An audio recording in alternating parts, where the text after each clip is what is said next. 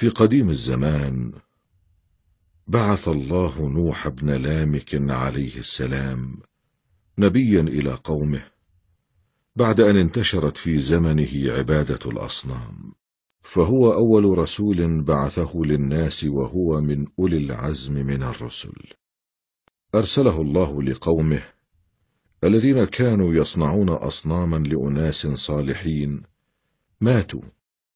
أمثال الرجل الصالح ود والرجل الصالح سواع والرجال الصالحين يعوق ونسر ويغوث. وبعد فترة وسوس لهم الشيطان فأصبحوا يعبدون هذه الأصنام. رأى نوح عليه السلام مجموعة من قومه كانوا يعبدون صنما. فقال لهم ما هذا الصنم الذي تعبدونه من دون الله؟ إنه ود ألا تعرفه؟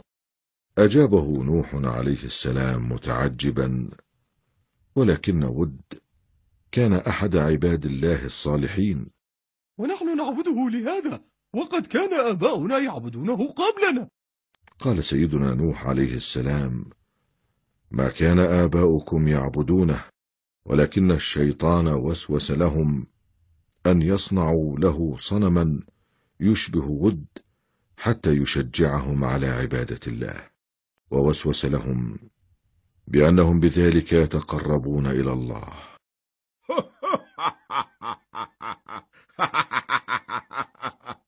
وبعد. تابع نوح عليه السلام ثم أتيتم أنتم فتركتم عبادة الله.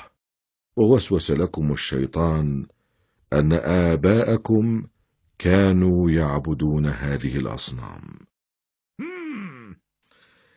إليك عنا يا رجل. قال نوح عليه السلام إني أدعوكم لعبادة الله وحده الذي خلقكم وهو الأحق بالعبادة. اعبدوا الله يغفر لكم ذنوبكم. ما نرى يا نوح إلا أن بك ضلالة. فأجابه نوح عليه السلام يا قوم ليس بي ضلالة ولكني رسول من رب العالمين. وهكذا دعا نوح عليه السلام قومه لعبادة الله عز وجل وحده بالترغيب والترهيب ليلا ونهارا ولكنهم أمعنوا في الضلال والكفر فكانوا يضعون أصابعهم في آذانهم. ويستغشون ثيابهم فوق رؤوسهم حتى لا يسمعوا كلام سيدنا نوح. بل وحرضوا صبيانهم على عدم الاستماع إليه خوفا من أن تلامس دعوته قلبا رقيقا لم ينجبل بعد بالكفر والعصيان. ولنسمع هذا الحوار بين رجل وولده الصغير. يا ولدي هل سمعت بنوح؟ لا يا أبي. إنه رجل يدعي أنه مرسل من عند الله. يريد أن نترك عبادة الأصنام. لا تستمع له إذا لقيته. فهو كذاب مخادع. لبيك يا أبي. نوح مخادع. نوح مخادع.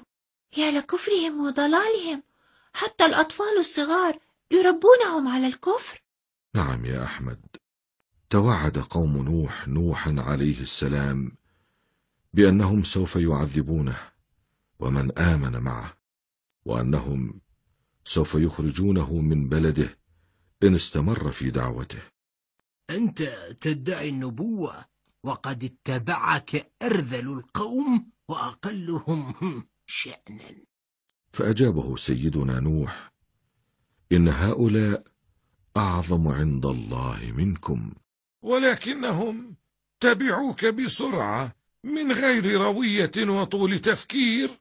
أجاب سيدنا نوح عليه السلام وهذا يدل على عظم إيمانهم وهذه حجة لهم لا حجة عليهم. يا قوم إني أدعوكم إلى الخير فاستغفروا ربكم يرسل السماء عليكم مدرارا ويمددكم بأموال وبنين ويجعل لكم جنات ويجعل لكم أنهارا. يا قوم ما لكم لا تخافون الله الذي خلق سبع سماوات وجعل القمر فيهن نورا والشمس سراجا. يا قوم الله خلقكم من الأرض وإليها تعودون فعودوا إلى الله وإلا مسكم عذاب عظيم. ولما يأس سيدنا نوح من قومه وتيقن من عدم صلاحهم وأنه لا خير فيهم دعا عليهم بالعذاب وقال رب إني دعوت قومي ليلا نهارا فلم يزدهم دعائي إلا فرارا. ودعا ربه وقال إني مغلوب فانتصر. ربي لا تترك على هذه الأرض كافرا عاصيا. ربي إن تركتهم فلن يكون من ذريتهم إلا فاجر كافر. ودعا أن ينجيه الله وأهله ومن معه من المؤمنين. فلبى الله طلبه وأمره بزرع الأشجار. وبينما نوح عليه السلام يزرع الأشجار. لماذا يا رسول الله تزرع هذه الأشجار؟ قال نوح عليه السلام لقد أمرني الله سبحانه وتعالى بزراعتها حتى أصنع منها عندما تكبر سفينة كبيرة. انتظر نوح مئة عام حتى كبرت الأشجار فأخذ بتقطيعها وأخذ يصنع السفينة. ولكن يا رسول الله من علمك صنع السفينة؟ فأجابه سيدنا نوح إنه الله الذي علم كل شيء في أحد الأيام والمؤمنون مع نوح منهمكين في صنع السفينة انظروا إليهم إنهم يصنعون سفينة